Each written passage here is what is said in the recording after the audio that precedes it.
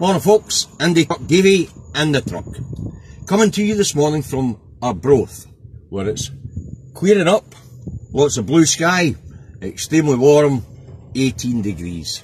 That's no bad for 5 minutes to 9 in the morning. Really lovely morning.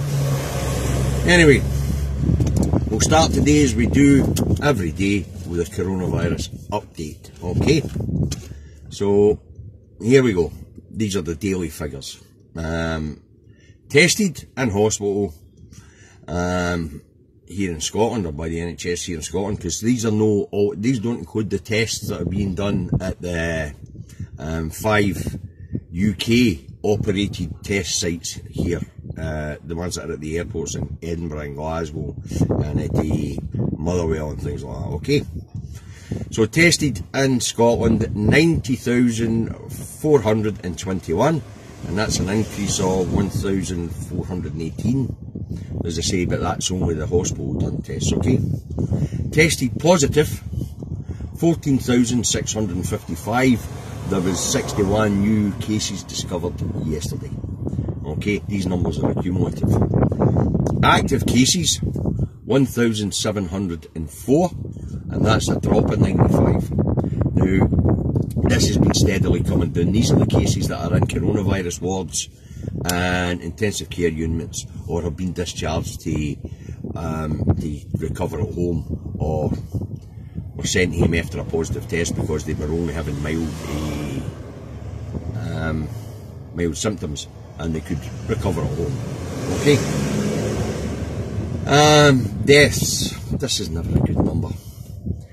2,134 and that's plus 29 on the day before. Now actually I, I forgot to tell you that these are no the days figures, these are yesterday's figures for the 19th to the 5th, 20. The new figures will be updated by the First Minister today at 12.30 when she um, addresses the nation. And also today we should we will get um, the National Records for Scotland's input as well. Now, last week, I believe it was uh, after the National Records of Scotland's input went in, the, the mortality rate sprung from 1,000 odds to 3,000, 1,200, uh, 3,213. I expect today that that number will, will, will pass 3,500 when the National Records of Scotland's input goes in. As I say, these are no good numbers. Any deaths are tragedy and uh, our commiserations to everybody who's lost a loved one during this, okay? Right, moving on. The attacks for the BBC, uh, for BBC um, here in Scotland and the BBC in general on um, the Scottish Government continues. Um, some of these attacks have been quite personal. Um, Sky even tried to, um, which wasn't the BBC, but as I say, the, the mainstream broadcasters, Sky even tried to make it look as if uh, tried to basically accuse the Prime Minister of murder. Uh, sorry, First Minister of murder. But anyway, it's Piers Morgan that's uh, accusing the Prime Minister of murder, and he's no missing. anyway, BBC Scotland continue attacks on FM, uh, trying to pit the people of Scotland against their government. This was Sarah Smith, right? As we all know, she tried to say that Nicola was enjoying this uh, crisis, right? But in that same report, she also suggested that the people of Scotland should ignore the Scottish Government. What she actually said towards the end, it was whether the people of Scotland will put up with us or no. Put up with stringent, uh, um, stronger lockdown measures than in other parts of the UK. Meaning England.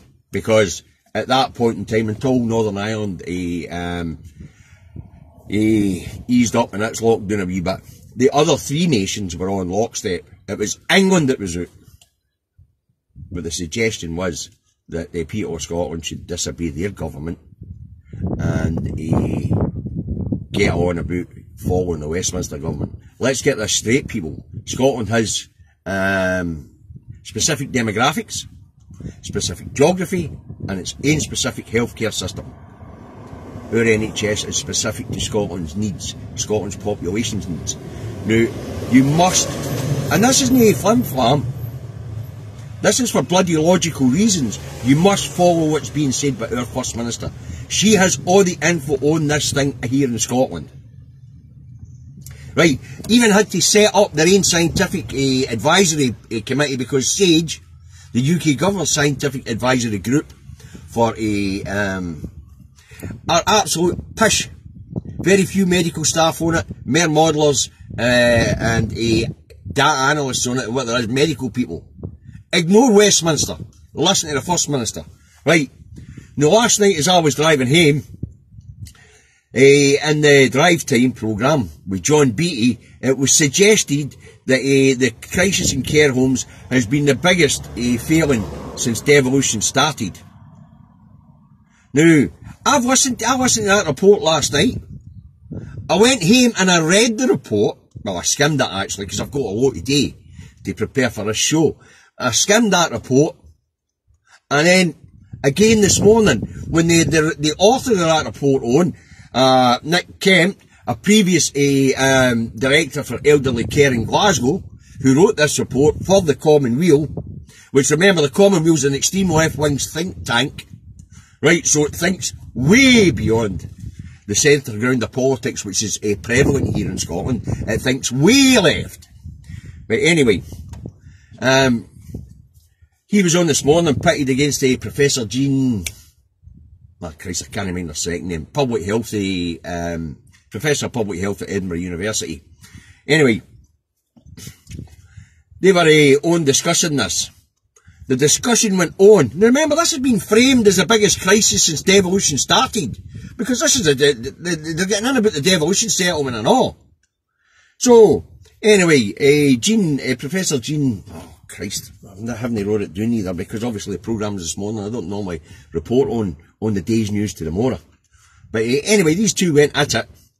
And I have to agree with the Professor of Public Health at Edinburgh University because when I skimmed it last night, it seemed to very, be very, very contradictory and it seemed to gloss over some important uh, points. Right? The privatisation of uh, social care, you know, that's care homes and things like that. That happened under Westminster's watch before devolution kicked in. Right? And these private uh, healthcare companies that run these care homes, they are ultimately responsible for things like a uh, um, infection control and all that. Guidelines are laid out by Public Health Scotland, but they're ultimately uh, responsible for this. This has nothing. This scandal has got nothing to do with the Scottish government which was pointed out by this director of uh, public health for Edinburgh University, uh, Professor of Public Health for Ed Edinburgh University, whereas this uh, Neil Nick Kemp and his fluffy-headed thinking was contradicting himself the whole time. Right. But anyway, the, the, the gist of it is that um, we never quite got to why it was the biggest uh, scandal since devolution started. But the hobby it is uh, something that I said last week.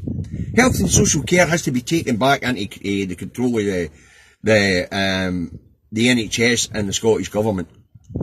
Um, care homes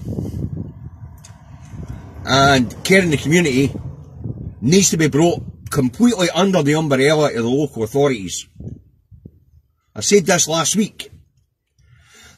probably, in fact, I think, it was Wednesday last week. You look back at programmes on YouTube. Um, and uh, nursing homes and palliative care has to be taken back into the hands of the NHS. I said this last week, and that's that's basically what this is saying. The failure of the devolved administrations not to, not to bring all these things, uh, not to um, nationalise all these things. Uh, sorry, not to, not to have nationalised public uh, um, social care and uh, care homes. In the 20 years it's been existing, that's the failure. That's the criminal thing. But of course, remember, the Commonweal is a left-wing, an extreme left-wing think tank, think tank, and they think everything should be nationalised. Right? But I have to say, and agree, I agree with them on this issue. But it wasn't a failing of the Scottish Government that we have at the moment. It's been a failure of all the Scottish governments since devolution came in. But what I say, uh, the author of this report also doesn't take into consideration is 10 years of austerity where they couldn't afford to take these things back in-house. Simple as that. But what they can do now, which I hope they do with the Sky Care home, because that's in front of the courts today to get its licence revoked, is I hope they uh, just buy it. Just buy it, it'll go rock bottom price anyway. And uh, as this thing unfolds and we get towards the end of this, a lot of these care home businesses are going to go out of business anyway because people don't want to put their elderly relatives into them anymore. So they're going to struggle. So now's the time to snap this sector up. The, the, the care home sector, get it back into uh, public hands. But, as I say, during these reports on the BBC, they still haven't explained why it's the biggest scandal since devolution started. But I mean, if you start to add up what's going on in the mainstream media, the Telegraph, devolution's a mess and dangerous. BBC, biggest scandal since uh, devolution began. Without explaining why it's the biggest scandal since devolution began. It, it actually isn't. He? You know, in the first 10 years of Parliament, they didn't even get round to this. And the Scottish Government's only just started to integrate health and social care over the last few years.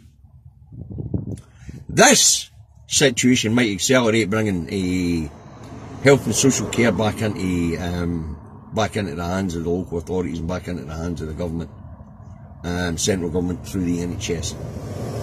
But as I say, I suggested that last week. That's what I think should be happening. But uh, this report in the Commonweal by this uh, Nick Kemp, it's fluffy, it's airy, it's contradictory, and I just skimmed it. But uh, the attacks on uh, the Scottish Government by the mainstream media are getting outrageous. When you start to blame them for things that happened pre-devolution, then it's nuts. And then you, you, you, you, you uh, have a go at them for no taking action that they couldn't take anyway because of budget constraints, because of 10 year austerity. Absolutely poor quality reporting. That's not even journalism. And as for Nick Kemp's uh, report, remember this guy's a previous director uh, of a elderly care in Glasgow. That tells you that this guy is a probably feel he's probably a Labour supporter and he's probably a left-wing socialist. Um, but definitely a Labour supporter. So this would be an attack by a Labour done through the Commonweal, which is a, as I say, it's a, a left-wing socialist think tank. I don't have anything against the Commonweal, but people have to understand what it is. Robin that runs the Commonweal, Christ almighty, he's another Colin Fox. Alright. Um, moving on.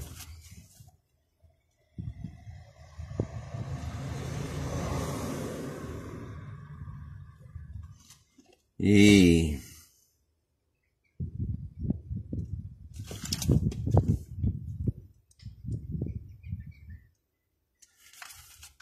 As I say, but um, these attacks, there's reasons for these attacks. There's politicking going on here.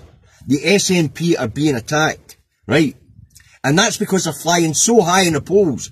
I've spoken about this. Ignore these polls. The establishment is going to go full out on the SNP over the next 12 months as we run up to this uh, election. These attacks will continue.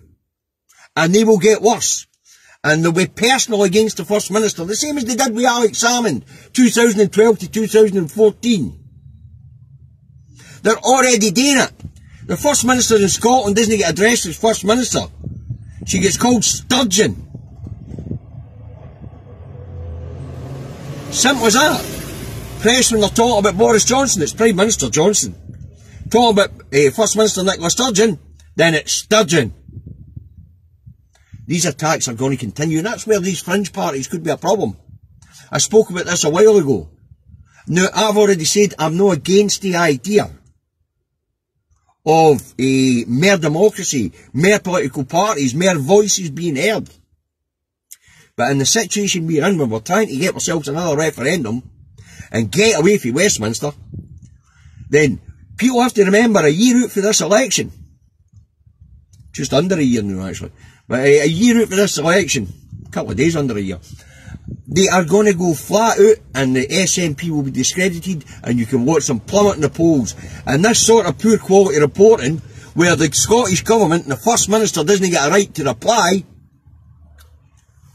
is a, it's outrageous stuff. No right to reply against what uh, Sarah Smith said the other night. No right to reply last night when this Mr, uh, Nick Kemp was making his accusations on drive time in Scotland. The drive time in Scotland's actually listening. The breakfast show this morning, ach, nobody's listening to that. Some pure old, uh, some old fuddy duddies that are out of their bed at this time in the morning and us political anarchists that want to keep an eye on what the BBC are up to. Right. But as I say, you know, forget the polls. We're a year out. And the attacks on the Scottish Government and the attacks on the SNP and scandals that they will make up or scandals they will drag up. What were they trying to do with the Alex Salmond trial? You know, they feel bloody miserably, but look what they tried to do with it. So, ignore the bloody polls. As to the new parties, as I say, I'm not against democracy. I'm not against more voices coming to the table. But what I can see is that uh, the maths that they are setting this, these new parties up on and want you to get your second vote away on are based on polls that are a year out. And the mass on the bloody, on the thing altogether is setting one election. Not all the Holyrood elections. Just one election. And that was the last Holyrood election where everybody went SNP 1 and 2 and the SNP didn't get a majority. It's not going to be that easy next time round. They should have done their stats through all the different elections and worked it out for there, as I say, but I'm not against more voices coming to the table. But these polls are a waste of time. eh, right, moving on. Iain Duncan Smith wants social distancing scrapped. Right? This is the same Iain Duncan Smith who set up Universal Credit and made all the changes to the benefit systems that seen 130,000 people needlessly lose their lives. This mass murderer wants you to get up close and personal so that they can open the economy. Right? So he wants social distancing scrapped. So that uh, we can all get back to working right next door to each other, standing next to each other as we work. Now, I've just made my delivery. And, uh,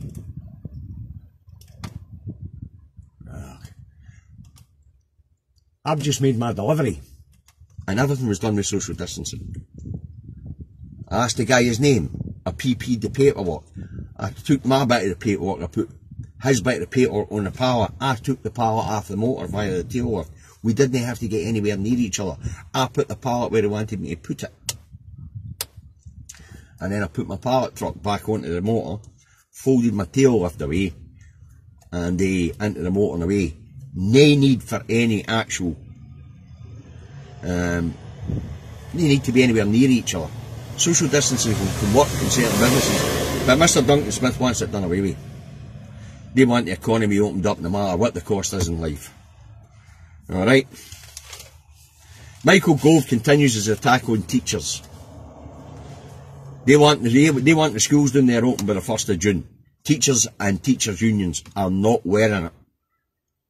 They haven't worked out safe working practices. How do you get primary school kids to understand social distancing? Even teenagers would ignore social distancing. They've grown up in an environment where they see their friends, they hug them. You know. But anyway, Gove, um, attack on teachers are getting outrageous, is, is starting to get outrageous. You know, if you really, I mean, this, eh, the stuff he's coming away with. This is a government that's killed over 130,000 people, plus the mistakes with the coronavirus pandemic, right?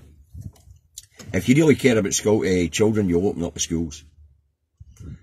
Now, what we do know is that 50 of the schools that reopened in France last week have had to be shut down because the communities that were in have seen surges and spikes in the transmission of coronavirus. But they want the schools opened up before they've got a plan in place to protect the people, the teachers, the children, and the, the children, the, the people the children come in contact with when they go home. This stuff is pure pie in the sky stuff. I said the other week, I said the other day there actually, you know, about businesses and uh, the Institute of Directors saying, Whoa, slow down, uh, slow down a bit. Here, we need to sort out safe working practices for our employer, our employees. Things are not opening up as, as fast as the Conservatives would like.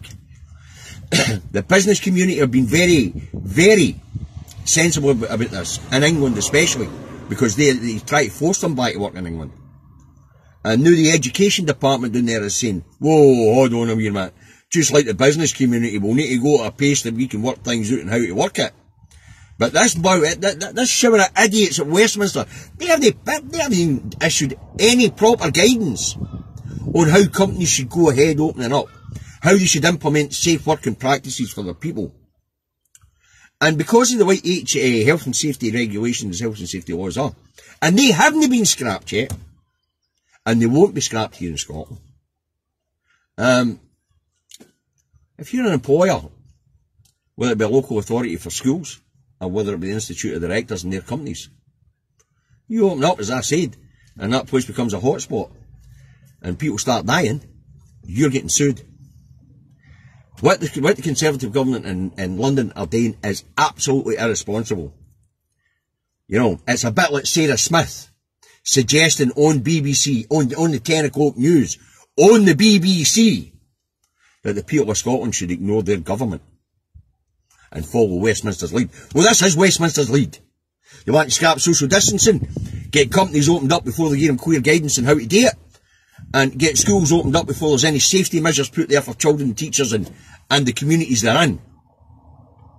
That lot down there are crazy. They're screwballs. Now, The Guardian had an interesting uh, report on it last night uh, by George Monbiot, right? Now, basically, what, what that uh, report was saying, I'll break it down for you, is that last year, on the World Health Organization's lists of countries that were best prepared for pandemics, America and the UK came first. And what George Monbiot's uh, investigation seems to have shown is that uh, actually, the preparedness was there. Um, Bungling Boris and Trump have decided just not to activate these uh, pandemic um, procedures, if you like, that are already in place. So, aye, it was all there. But as of last year, Boris and his bungling bunch of a bunch of idiots privatised the, the Public Health England's uh, stockpile, outsourced it to uh, Movianto, I think that's how you pronounce it. I did a wee video on it yesterday on the place in Scotland. Um, so they outsourced uh, all the PPE um, storage and procurement to this mob. And they basically broke down the system that was there, in place, with Public Health England, Public Health Scotland, Scotland's a wee bit better prepared. You probably noticed we still have a central hub, central distribution, things like that. We haven't had the problems we've had in England with PPE. You know, and that's because we didn't go down that same line. We still weren't ready, we still weren't queued up enough, we still hadn't um, uh, took the advice of the Cygnus report, which we don't really know whether the Scottish Government got, got sight or no. Although the BBC are trying to claim they did. And this uh, Nick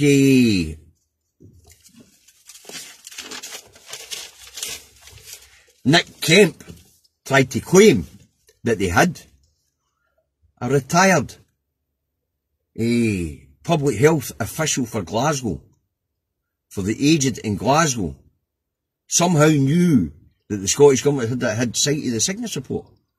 I haven't seen anything that says it would the Cygnus report. In fact, as far as I know, the particular, half the uh, Commons committees in Westminster didn't get cited the Cygnus report, never mind the devolved administrations. Anyway, according to George Monbiot in The Guardian, the UK and the US were, were